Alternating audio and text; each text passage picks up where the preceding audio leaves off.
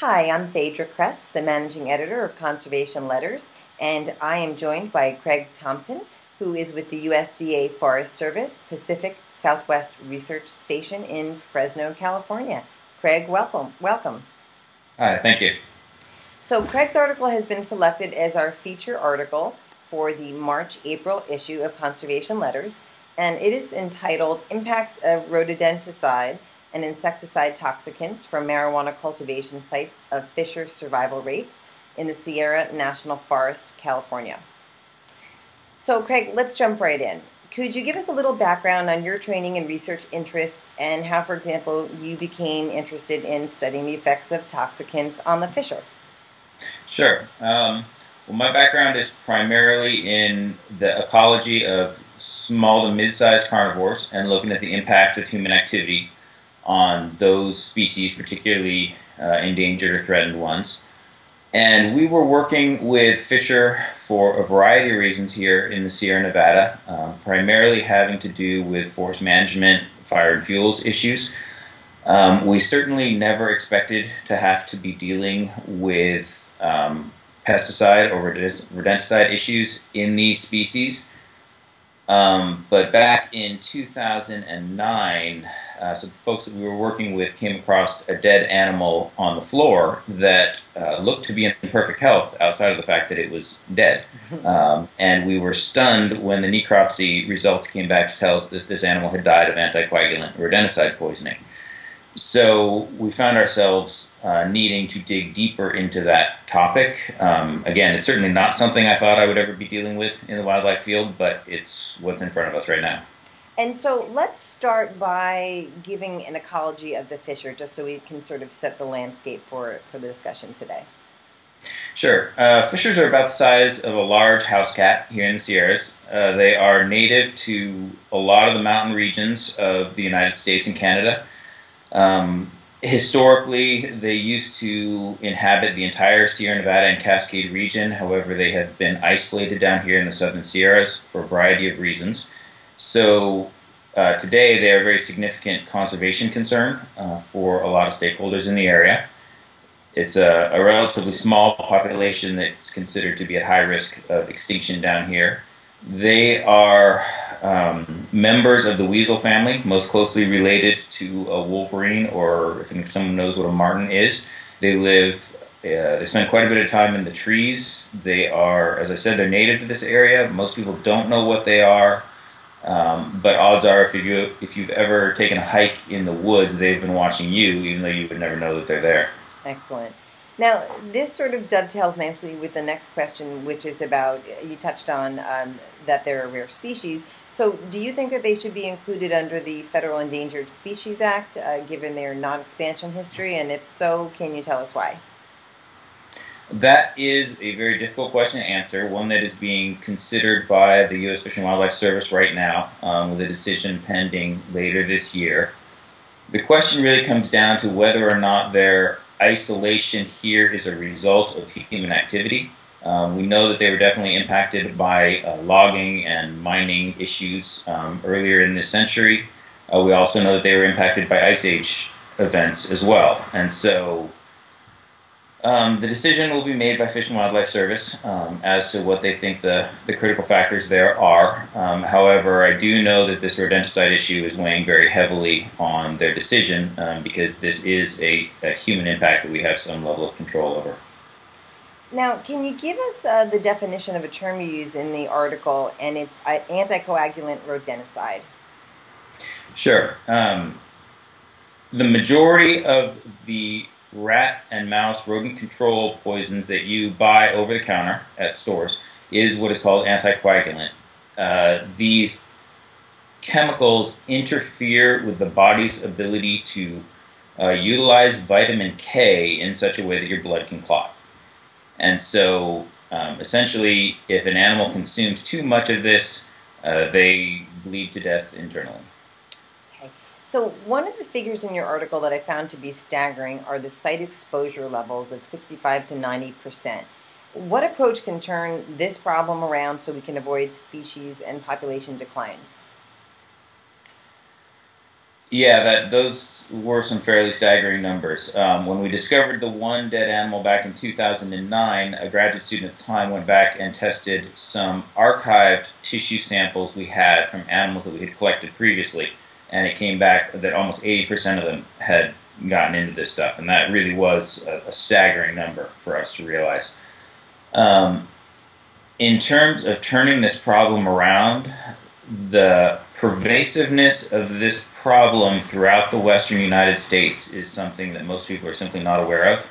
Um, and the level of contamination that is going on at these sites. There are thousands of these illegal, what we call trespass marijuana grows in national forest land, uh, tribal land, timber industry land, pretty much anywhere where there's some isolation.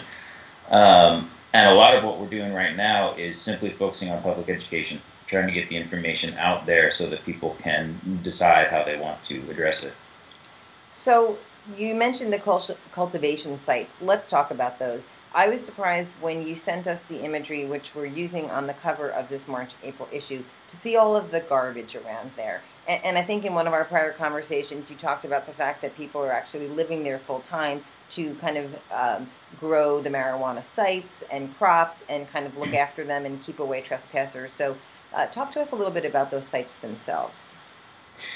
Yeah, I think most people don't realize the industrial nature of these sites. They think of a, an illegal marijuana grow on public land as your neighbor down the street or a hippie or, or something like that. And people just simply don't realize that this is an industrial scale effort. Um, somewhere between two to five people probably will live at these sites the entire summer. Wow. Um, all of the trash that they accumulate, the food, the um, propane bottles, fuel, clothing, kitchen stuff, all of that just accumulates at these sites and generates huge trash piles. Within those trash piles, we often find um, tens to hundreds of pounds of um, pesticides, fertilizers, rodenticides, other chemicals that are either have been used and we find the empty packaging, or they're just abandoned out there. Now, I'm going to throw a few statistics at you. I, I watched a video about this that you uh, graciously provided for us, and I, I, learned that it takes up to 15 gallons of water a day to grow a pot plant, and that there are potentially up to a million of them in these uh, in these sites. So, mm-hmm. um, given that it kind of follows that there would be a requirement to have people and food and some of the garbage that contributes to these sites, um, is that correct? Is that actually accurate accurate information? Uh, yes. Okay, great. So let's see.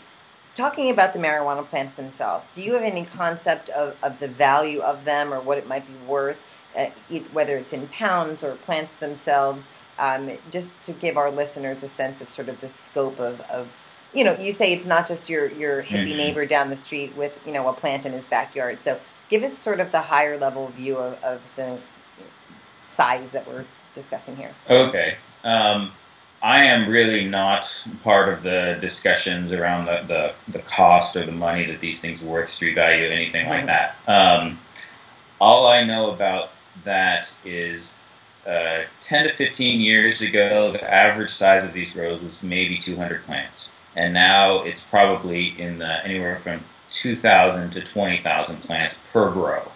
And there are uh, thousands of these grows up and down the state of California. You mentioned the water issue. At each of these sites, um, one of the common things that we find is water diversion from creeks or streams. We'll find um, homemade kind of water storage systems, and they are diverting uh, millions to potentially billions of gallons of water um, from the natural uh, hydrologic system out here. Oftentimes that water is mixed with fertilizer and chemicals before it's used for irrigation. Um, and so the, many of those chemicals are there and finding their ways back, presumably into the water system. Um, it is uh, simply a massive operation at, at, at, as I keep saying, at an industrial scale that most people just don't realize. Understood. So, can you take us through some of the physiological effects and the secondary impacts of this exposure to wildlife? Um, I'm thinking about hot dogs and tuna cans uh, and intentional poisoning from one of our earlier conversations. Okay, um, there's a variety of different chemicals that we find at these sites. The anticoagulant is um, far and away the most common. Those are used both to protect young marijuana plants from chewing by rodents and other species, um, and they also use them to protect their camp area because they don't want animals getting into their food supply. Um, those chemicals, uh, they're first and second generation rodenticides. Um, primarily, that means they can either kill an animal in one feeding or it needs to have multiple feedings. Uh, the small rodents that get into this are then exposed to predation by the larger animals, um, so we get what's called bioaccumulation of these chemicals uh, in the carnivores. And when a carnivore eats enough of these contaminated uh, rodents, essentially they, as I said, they lose their ability to clot. They can die from a minor injury by bleeding to death. Um, if they get enough of it, they will actually just bleed to death internally. Um, there are other chemicals at these sites that we're even more concerned about, though, and these are insecticides and pesticides, primarily in a group called either carbamate or organophosphate families. Some of these are even banned in the United States. Um, products, uh, carbofuran, um, DDT has been found at these sites. Um, and these are far more lethal. They are sprayed on the plants, both for their intended purpose and then they are also being used to intentionally poison um, larger wildlife species, as you mentioned. Tuna cans um, have been found with some of these pesticides mixed in in highly concentrated doses. Um, we have also found hot dogs dipped in some of these chemicals strung in the trees around the camp. Um, and these toxins are so potent that we found one animal that had died and still had the hot dog lodged in its throat. It wasn't. It didn't even have time to finish its second oh, wow. bite on that. Um, and there have been numerous animals found dead around these sites by these things as well. So let's take a minute or two here at the end of our interview to talk about education. Um, I, I think there's a likelihood that someone could sort of surreptitiously happen upon one of these sites in the image that you provided for us, we saw weapons and, and uh, guns, for example. So, in terms of educating the public about what to do if they happen upon a site, what would you say? Um, the primary thing is to turn around and leave by the route that you came out. Um, the most likely thing that people are going to run across is black irrigation tubing, um, and this will be used to run water from creeks or streams for up to a mile to wherever the grow is actually going on. Um, you can also find a lot of trash. Propane bottles are common. Um, and these are very dangerous locations. Um, as we said, these, these guys are generally armed. Um, and if you come across any evidence of these sites, the best thing by far to do is just turn around and, and leave. Um, the other part of the education that we are really pushing at is well, one, for recreationists, backpackers, fishermen, mountain bikers, things like that, these people really need to know what they may come across in the woods as they're out there. And then the second part is the rest of the public really needs to know what's being put on these plants um, before they go out to market. Sure, that, that makes sense. Thank you for the overview. So, in, in summary, can you give us just the key takeaways of the research here? Um, and, and, we'll appreciate just being able to have a, a little snapshot overview at the end of the, the talk here. Okay. As I said at the beginning, this problem came completely out of the blue and surprised us. We never went out in the woods looking for this or expected it. Um, but now that we've found it, we really view Fisher as just the canary in the coal mine. Uh, we only found this problem because we were looking at Fisher intensively for other reasons. There's no reason in the world to think that it's not impacting other species as well. Um, potentially, uh, these chemicals being washed by water runoff into the streams, creeks, things like that. Um, this is a, a significant problem for the western United States right now. And most people, as we said, are simply not aware of the scale of it.